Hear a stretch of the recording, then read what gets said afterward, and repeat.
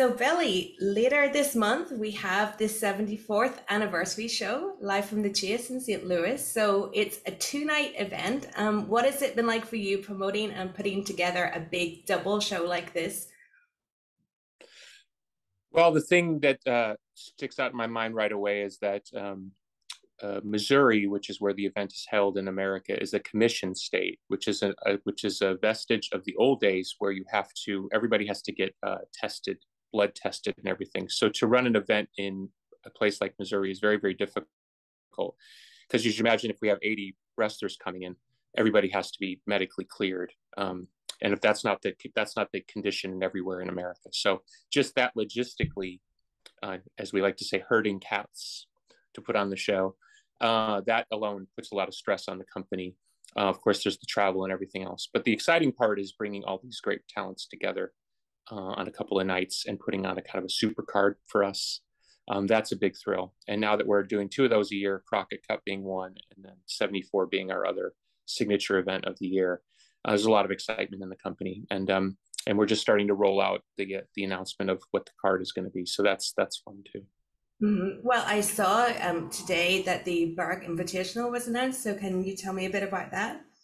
Sure. It's uh, the second year we've done it. We've done it. It's a gauntlet. It's an invitational. So basically, I think there'll be somewhere in the neighborhood of ten to twelve uh, top female talent competing for a championship shot the following night. So whoever comes out of Taya versus Camille will face the winner of that uh, match, and whoever is the champion, obviously, uh, they will have a chance to win a, a world title um, the following night. Uh, Camille likes to complain quite openly about the fact that uh, she's so good, I make her wrestle two nights in a row. Um, but you know, I, I feel like, um, look, I'm wearing the uh, NWA Empower shirt. Uh, I believe the women in wrestling are just as tough and durable as the men, and and depending on the situation, they should be able to compete at the top levels uh, is equal or greater than um, uh, any of the men because um, that's how good they are. So uh, yeah, I like I like it as a as a as a um, opportunity, particularly for uh, talent to step in in the gauntlet style, which is obviously a very difficult match to win. Um, so yeah, so I love I love stuff like that for the NWA. I like sort of harkening back to the NWA's tough roots. Uh, the NWA I grew up on was very very tough, and you had to be tough minded and be able to deal with the physical uh, punishment of the gig, uh, as we would say in music. And uh, that's it. That's it. That's what the NWA is at, in 2022. We're, we're the toughest organization out there, particularly for America. Well, speaking of the women as well, you introduced the women's TV title. So why, why was now the time to have a second title for the women's division? Well, you know, you find yourself thinking about um, equal opportunity in a new uh, frame of reference these days, as you should. And uh, it's glaringly obvious that here we have a, t- a TV title. It's just called the TV title. It's not called necessarily the male TV title. And you start thinking, well, is it a TV title for uh, everyone or is it a TV title only for men? And then we should have a female only TV title. In the NWA, we do not do mixed uh, wrestling. Uh, the, men do not face the women. Um, we have not done that one match like that that I remember in my four to five years of ownership. So it seemed obvious that it was a it was a glaring omission in our belts that we did not have a TV title for the women. Mm-hmm. You've also announced the an upcoming appearance from Ricky the Dragon Steamboat. So how did that come about, and what does it mean for you to be working with him? Sure. I mean, you know, you you get hooked up into a network of people in wrestling who know different people and can book different people. And I was surprised that Mr. Steamboat was available to be booked because certain legends are under WWE contracts. They're not able to appear without WWE's blessing. In fact, we tried to book someone else whose name I, I don't need to mention. And unfortunately, WWE um, restricted their appearance, which is fine. If that's the if that's the business, that's fine. I don't have an issue with it. But um, I was surprised Mr. Steamboat was free to be able to come in, and so we were happy to book him for our TV show uh, in, in Nashville, NWA Power. And uh, anytime you have a legend uh, of the wrestling business step in the ring, um, and most notably a true champion of the NWA, um, it's a real thrill for the company because it's not just the fact that they're a legend, they extol the values that you believe in for the NWA, and you're trying to bring that forward. So when you can combine those two things, it's very, very important to the company. With um, having the NWA name, how do you find balancing honoring the NWA's legacy and the nostalgia of it and fitting in with the modern wrestling world? Sure, that's a fantastic question. You know, when I first bought the NWA, um, because I'm a little bit older, I'd grown up with the NWA. Mm-hmm. I thought the NWA name would mean more to the general public, but unfortunately, the past 20 years of the NWA had kind of convinced people that the NWA didn't have a future. The NWA was still around, but it didn't have a future. So nostalgia really didn't carry much at all. Um, if it did, I guess we would have more of a representation of nostalgia um, because it would just be good business to try to pivot to something forward. Uh, but on the other hand, it didn't. And so we had to learn okay, well, what is the NWA in 2022 now? Um, and of course, we've seen the rise of independent wrestling across the world, and most notably, the rise of that through the uh, through the Being the Elite Series uh, culminated in AEW now being so successful, and of course that combines with you know New Japan and things like that. So I think what's incumbent upon the, the NWA is to carve out a, a territory which is wholly its own. And what was strange to me about the journey was I didn't necessarily think I would circle back to the NWA style. I thought maybe I would be able to circle back to the NWA's historical place, but I've circled back to what I would call a more traditional uh, wrestling style, which is actually also very based in the UK style. Mm-hmm. Um, more rough, more rugged, and more tough. And again, I think you see that particularly with our uh, female competitors, um, but certainly our heavyweights. I mean, I think we have eight to ten top tier heavyweights in the NWA currently. Uh, I don't need to list them, but you know, you start with you know a Trevor Murdoch, a Nick Aldis, a Tyrus, and Aron Stevens, a Mike Knox, uh, Matt Cardona. You know, you have a lot of tough heavyweights in the, in, in the division.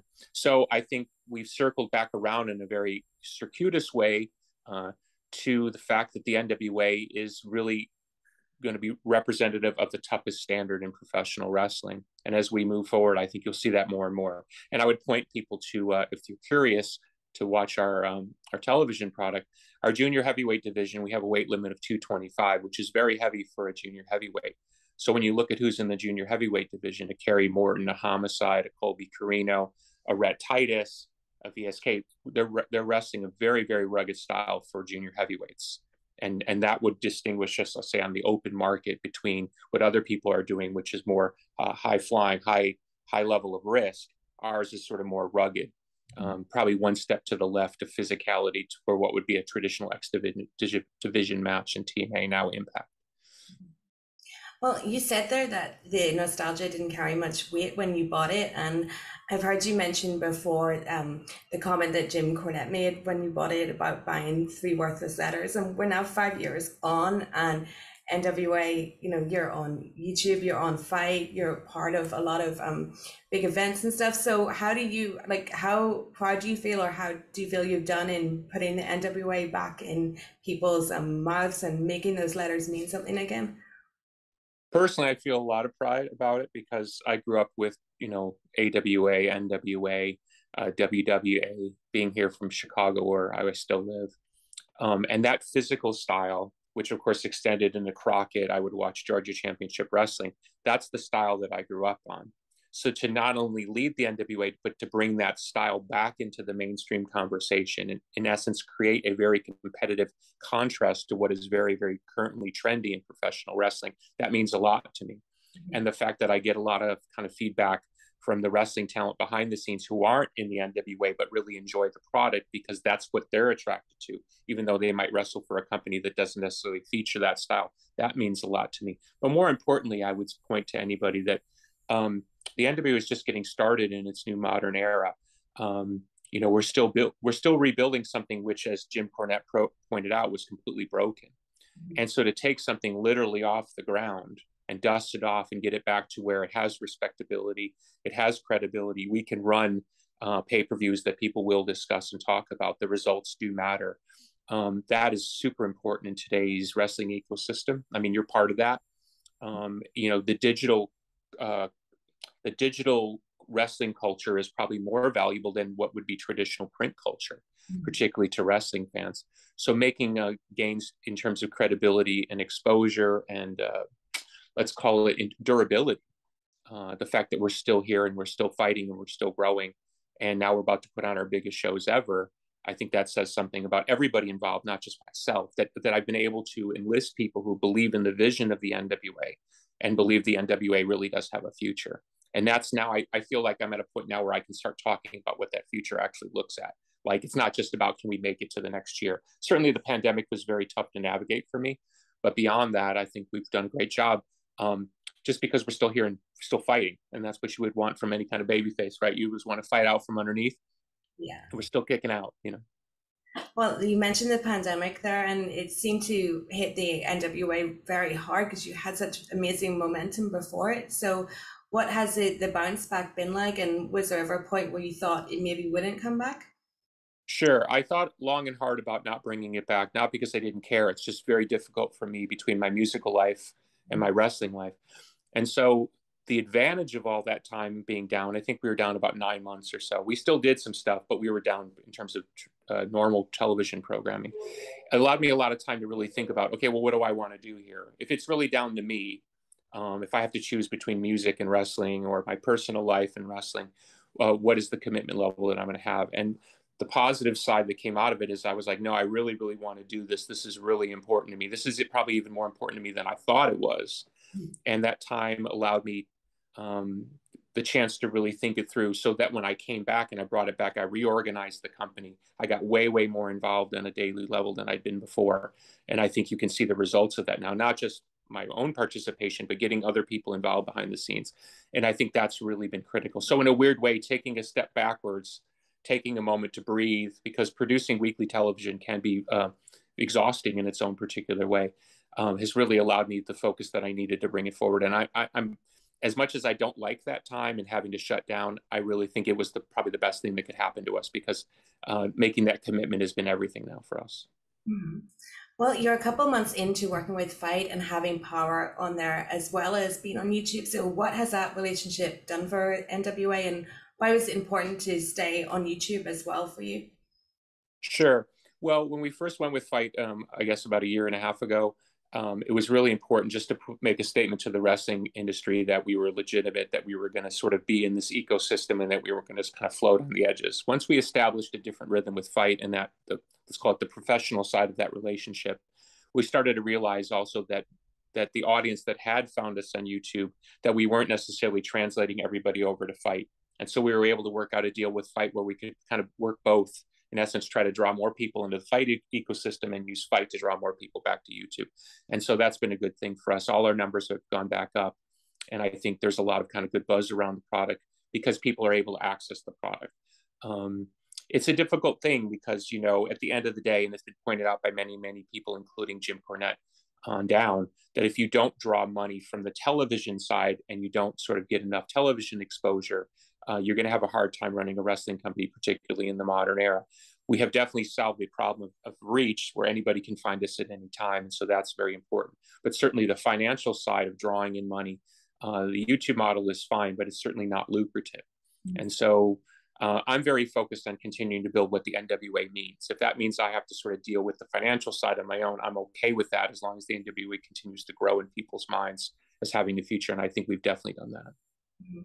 Well, you mentioned Empower before, and you're wearing your Empower T-shirt, and that was such a great event. Um, what was it like for you promoting it and being able to put something like that on that um, showed off women's wrestling so well? Sure. Well, when Mickie was still in the Mickie James was still in the WWE, um, she had expressed desire to. Um, certainly, she had pushed behind the scenes there for a, an all women's event. They had done one, but maybe that they didn't really follow up on it. Um, and she was frustrated by that because she saw momentum there. And now, now in hindsight, you realize Mickie was seeing the world that's coming. Uh, women's wrestling is is just as big part of the business. In fact, you could say it's it might be a greater draw at this point in many quarters.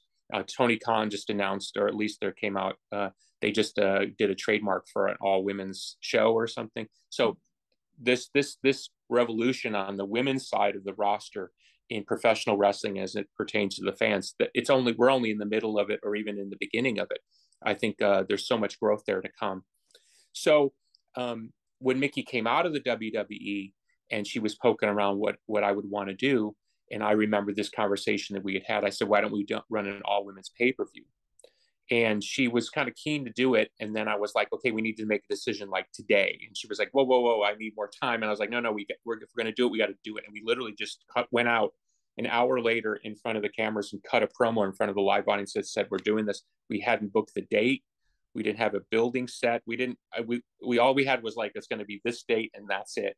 Yeah. And so we just literally jumped into the pool um, without even being ready, um, and uh, it was amazing. The the response from the fans was fantastic. Uh, the response from the uh, uh, the wrestling business was so positive. Um, and I think those things are really important. You know, I'm not the biggest kind of wave a flag type of person. Uh, I think you just do it. You know what I mean? Like whatever you believe in, you should just do. Like don't run around and talk about diversity. Be diverse. Don't talk about empowerment too much. Although I'm wearing the T-shirt, just do it. Just empower people. Put people in positions of power. For example, one of our lead agents behind the scene is Medusa, who's an absolute legend in the in the business. Okay, so you say, oh, okay, we got Medusa. No, we also have Jazz as also as an agent. So we have two of the greatest women talents in the history of the wrestling business. They work as agents for the NWA that's a source of pride. But that's not something I would necessarily go out and talk about every five seconds because I don't need to. They've earned the spot. They're agents for the NWAs that should, but their voice is critical towards the product moving forward because they can tell me, hey, you're not quite getting the balance here right that you want. So we look forward to running another Empower event in the future. I think the most difficult thing, um, not that you asked the question, but the most difficult thing to try to run an Empower event is that there aren't enough female talent in uh, professional wrestling at this time. That revolution is still coming. Uh, I'm friends with Nattie Neidhart, and Nattie's gone on now to be, I think, the uh, has had the most matches as a female in WWE history. I think she's over 1,500 matches now, or something like that. Might even be more. I'm probably might even be just quoting the, the amount of wins that she's had. Nattie, Natty, and and Trish Stratus, and Lita, and Melina, um, you know, and Jazz, you know, and so many other women, Medusa, have ushered in this era now where you're going to see a whole nother generation of female talent stepping up and saying they want to be in the business. Unfortunately, now the numbers are still disparate in that there's probably three to one in terms of male talent available to female talent available. So to put on another Empower event is very difficult because now now that women's revolution, uh, the, the revolution in, on the women's side of the roster is, is here to stay. Well, so many of the companies have signed the women up that were available and were top talent. So it's not like I could just make a call and there's like 800 people who are there to choose from. It's just not like that. So it's very difficult to build another event, but we look forward to doing it again. Well, on the event, um, you had AEW and Impact uh, talent. How have you found, in general, like collaborating with other promotions? And do you think uh, cross promotion working together is something essential for the non WWE companies? I think it's critical um, for social media. Um, you know, look, you're you're trying to figure out a way to create headlines, create buzz. There's no easier way to do it than to put the companies together. I've been saying for years that all the non WWE companies should run a super event. Yeah. I, I know I know that Tony just did uh, with New Japan did did the Forbidden Door event, but if you actually put together a super event where where it's MLW, Impact, NWA, GCW, you know what I mean, and then you have other people out there and I'm not saying Ric Flair would wrestle again, but Ric Flair is an independent person. So if you got Ric Flair on the show, you have Ricky Steamboat on the show. There's a lot you can do, and I I think people would be shocked at how big a number an event like that would draw comparatively to WrestleMania. Um, I think the numbers would be staggering. Um, so I continue to sort of make the case for that. That said, to the earlier part of your question, it's not the easiest thing working with other companies, and it's not because they're difficult. They just have their way, and you have your way and sometimes trying to put those things together are difficult not because of anything other than it's just everybody's trying to balance their own concerns.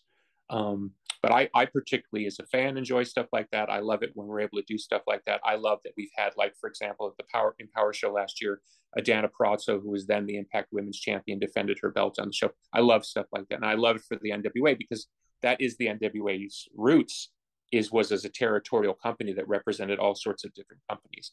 So I like to point to the idea that maybe we're almost in a modern version of the territorial system. Yeah. Where you know everybody kind of represents their own world, and then under certain circumstances, you put those things together. Uh, for historians in the crowd, I mean, there were times where um, I think it was uh, superstar Billy Graham wrestled Harley Race or something, or or Bob Backlund, and one was the WWF champ and one was the NWA champ. I mean, there were things like that even in the WWE's past. Mm-hmm. Um, and there might be a point now that Triple H is running things where he might be open to to events. I, I know they've been very friendly with the NWA since I bought the company. Mm-hmm. Uh, Triple H has made no secret of the fact that he's an old school NWA fan.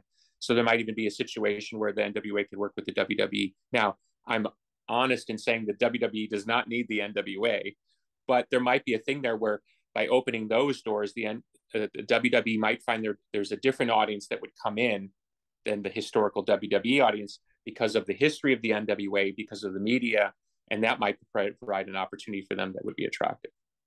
So mentioning a Triple H there uh, with Vince retiring, like for you, what was your reaction to that? And do you think the the landscape will change for the better with Triple H? As you said there, he does seem to be more open to things than sure. Well, I'm just going to talk about it from the wrestling side because obviously the the allegations are very very um, you know difficult to navigate and um, and uh, it's it's unfortunate on so many different levels. So let's just talk about it on the wrestling side because that's the one thing that I know. Uh, people who people who have disparaged and and not liked the WWE product over the last few years, uh, and and certainly the criticism has been very vocal and and it's been it's been off talked about. Uh, there's a there's a yes to that, and me as a fan, I didn't necessarily find that was much in the product for me personally. Mm-hmm. Um, but that said, um, the WWE is now the most successful wrestling company. As Vince McMahon leaves, uh, it is the most successful wrestling company in the history of all of professional wrestling. That's over 100 years. So there might be forces and tidal waves in there that we can't see on the outside when you're dealing with stock prices, when you're dealing with huge corporate entities and billion dollar television rights deals. In essence, they may have made a decision that they wanted to be more conservative in wrestling product to satisfy other masters in a bigger uh, financial ecosystem. So whether or not Triple H will pivot the product into something resembling more, let's call it a modern take on professional wrestling, that remains to be seen. There's some early indications there. Um, I, I, will say that um, I think that uh, just my own sense of it is that a Triple H will be a little bit more pugnacious as it comes to letting other companies take shots at the WWE. I, I think he was part of that that uh, you know the Monday Night Wars. You know there was obviously the famous thing where they showed up in the tank outside WCW. I think that was very much in the spirit of that core group. Uh, you know, um, and uh, and so it wouldn't surprise me if if where for years the WWE as a corporate entity has kind of remained silent while other people have kicked in the shins, we may find under under Triple H's reign that they that may not be the case. You might see a different type of retaliation, and I'm not talking about corporate subterfuge. I'm talking about just not taking it on the chin and being quiet about it, mm-hmm. um, because you know it is wrestling, and and and fans might actually enjoy a little bit of jostling back and forth. Mm-hmm. Do you find, and with the way the wrestling business is, and you can kind of get away with saying more in wrestling as you know a promoter and like taking shots like that, and is it are you re- received differently in the music industry if you say something negative you know about another musician whereas in wrestling it's like it's just wrestling if you you know what I, do you know what i mean sure well i used to cut wrestling promos back in the 90s on other rock musicians and people did not like it at all um, i took a lot of criticism back including by journalists for saying what i was saying i sort of thought it was all in kind of good fun mm. you know what i mean um, you know, we've all grown up with Liam and Noel talking shit about each other. Um, I always thought it was it was a bit of good fun, you know. Um, most people in, in music are extremely sensitive to that type of criticism. Now that we live in, let's call it the woke era, you never know where something innocently said as sort of a joke will be taken and spun out of control. So I think most people are remiss to say anything at all Hmm. Um, I guess it goes back to the old axiom that your, your mother used to say if you don't have something nice to say, don't say anything at all. I think professional wrestling is built on heat, and heat's not a bad thing. Um, so certainly, you know, for example, since uh, uh, Tony took over and, and, and brought the AEW to prominence, he's taken many shots, both subtly and overt, at the WWE. So that's kind of what I'm trying to say. You may find now in a different culture with different leadership that they may start firing back in a way that um, you know AEW hasn't had to take from you know a, certainly a bigger company. So you might see some of those those things start kind of kicking up now, but I would say that's not necessarily bad for business. Yeah. Uh, in the music industry, before your purchase of NWA, what was the reaction to your wrestling ambitions and like your appearances on ECW? Were you ever told by people high up in music to maybe like knock this wrestling thing on the head and leave it? Yeah, uh, many people thought I was absolutely crazy, that I was hurting my brand, mm-hmm. um, that I shouldn't do it. Uh, go as a fan, but don't get involved. It's a bad look, all that type of stuff. Uh, I used to tell people behind the scenes, like, uh, and I'm saying this in the way I would say that so people can take it how they want. I didn't, I didn't become a rock star to have somebody tell me what to do. Yeah. It was antithetical to my thinking. Um, I get it on a business level, maybe now that I'm a little bit older, but I still kind of don't care. I think people should do what they want to do. I think they should follow their passions and their dreams. To to to lead the NWA, uh, literally up out of the dust now for five years, you have to really be into it. You have to really want to get up every day and hit that thing hard. You know, I'm answering hundreds of texts a day, hundreds of emails a day. I'm having meetings all the time on Zoom calls like we're having right now um, you have to really care. You know, I have two little kids. That's time away from my family. That's time away from me writing a song. So I have to be able to turn to my bandmates, my business partners in the music side and have real credibility. And the thing that's happened that's been very nice over the last five years is everybody in my life now, including journalists, you could say by extension, on the music side, now treat my endeavors in wrestling very, very, um, uh, uh, what would be the word? Respectfully. Yeah. Uh, it's no longer seen as this weird hobby curiosity. What the fuck are you doing? Now it's sort of seen as like, oh, okay, that's important to you. You've done a good job. We'll just kind of leave that alone. And sometimes even people ask just nice questions like, "How's it going?" and they'll mm-hmm. include those quotes in the in the music articles just because it's part of my bigger world. So that's awesome, right? I'm able to bring music fans over sometimes to the to the wrestling side. Who's easier to deal with, music press or wrestling journalists? You know, I think that wrestling press, um, like the music press, is oftentimes chasing the gossip side of it all. But I think the wrestling press is more in lockstep with the rhythm of the business on the wrestling side. They understand this. There's a lot of moving pieces. Rock journalists tend to be a little bit more living in the clouds about the reality of the business.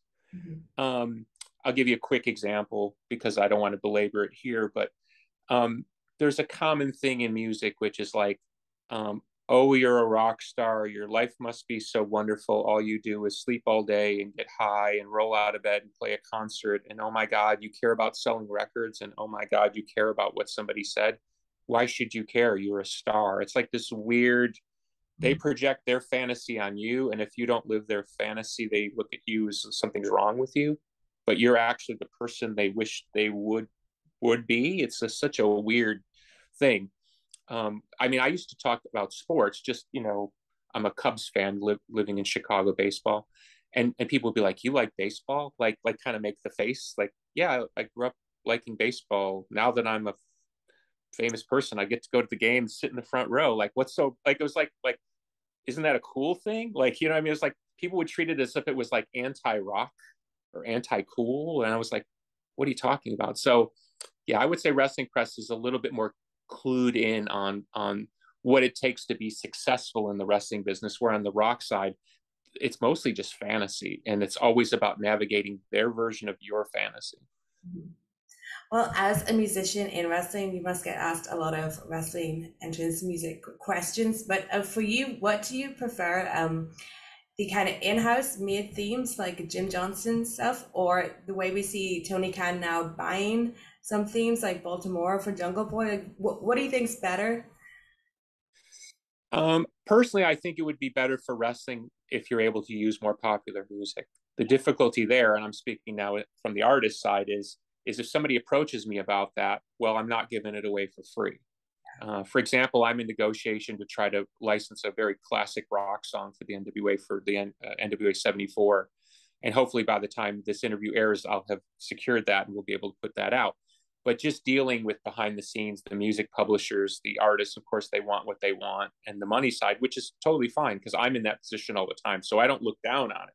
But from a wrestling side it's very difficult sometimes to navigate that. So if you're tony and you go out and just buy the rights and do what you got to do great. Um, i'll tell a quick story. Um, one time uh, tommy dreamer 20 something years ago uh, when he was going into WWE after ECW, he wanted to get the rights for Man in the Box by in Chains, and he knew I knew in Chains, so he said, "Can you do something?" So I reached out to in Chains, and they said, "Okay, talk to these people, we'll try to make it happen." Anyway, so uh, it came back with some astronomical figure, which obviously the WWE was never going to pay. and so that's why Tommy ended up in, in the WWE with sort of like the man in the box, but not really theme. Like it kind of sounded like man in the box, but not really. But I actually had tried to get him the thing, and I couldn't be, you know, I couldn't look down on what the band wanted for the theme because it's look, it's going to be on a TV show. It's the WWE, but back then WWE was never going to pay that kind of money when they could just have somebody write something similar-ish. Yeah. Did you like the WCW like ripoff themes as they were called, like the Jericho's Even Flow and? well, as a musician, I always look down on that stuff, you know, because um, I've had music ripped off many times. Uh, none that I can think of in wrestling off the top of my head, but certainly for commercials. Like sometimes I'll be sitting at home and a friend will DM me some Italian commercial where some guy's riding in some no game mini car and it's like sounds like one of my songs, but like they've ripped my song off. That stuff happens all the time. Um, and you have to get lawyers involved. So I tend to look down on that type of stuff. I mean, I get it, but I think at the end of the day, it's sort of disrespectful to the musicians. It's it'd be no different than somebody rip, ripping off a finish, right? You know what I mean? Like, like, hey, I'm not doing, you know, I'm not doing your DDT. I'm doing mine because I put my pinky up or something. I don't know. It's it's it's the same vibe for me. Mm-hmm. Um, well, as we wrap up here, for people who haven't um, given NWA a chance before, you've got such a big show coming up. What what can you say to maybe entice them to tuning into the 74th anniversary shows? What I would say, and I like to say, is if you're a fan of professional wrestling, um, that means you care about the entire wrestling ecosystem. You want to know what everybody's doing. You want to know what all the top talents are doing, and then you want to sort of see the world from afar. Like you want to be able to look at what WWE is doing, AEW is doing, New Japan. Well, we're part of that now. And so I think you want to give us the chance to see why we're different, why people are talking about us, and then make your own decision about whether or not that's complementary to that that which you already like in professional wrestling, or you think that's just not for me. I think uh, the lazy tag on the NWA is kind of an old school thing. I think that's very, very incorrect. And I think through the years, we've proven we're getting um, more and more modern, not only in our approach, but in our thinking. Um, so I think this is a world class event that competes with anybody. And it's two days, you know, a lot of stuff's going to happen. Um, yeah, I think you know have seven, seven to eight titles on the line, so there's a lot there to uh, to uh, to take in. And if you're a wrestling fan, you want to be there because you never want to miss these things. And this is a big event. And by the way, it's the 74th anniversary of the oldest professional wrestling company in the world. If you're not into that, I don't know what to tell you. Absolutely. And where can they check out NWA now? Sure um, follow us on FITE. Um, you can subscribe if you want first run programming, and then you get access to all the pay per views for free once you become a subscriber. I think our it's fifty dollars, and so that's basically like if you were to buy both nights of the pay per view, it'd be like buying a whole year of pay per views. So it's a great deal. Uh, and then if you want to watch our show NWA Powerrr, that's Friday on YouTube, and Saturday we have NWA USA, which is the second show, which is a little bit more features cruiserweights, other talent, and also younger talent. So we're very proud. That program's come a long way in the last year um, and has become actually very competitive now with NWA Powerrr. So we're very proud to present both these programs. And now we're up to, I think we're 100 hours of programming a year now, um, counting the pay per view. So that's a big step from what did what did he buy per Jim Cornette to 100 hours a year of programming. So we're very very proud of what we're doing. And and yeah, I always say to people, and I said the same thing to people in my musical life: pay attention now because you're you're going to look back later and you're going to see that the things that you're watching now are vital to where we're going. Thank you so much for talking to me. Um, really- thank you for your time today.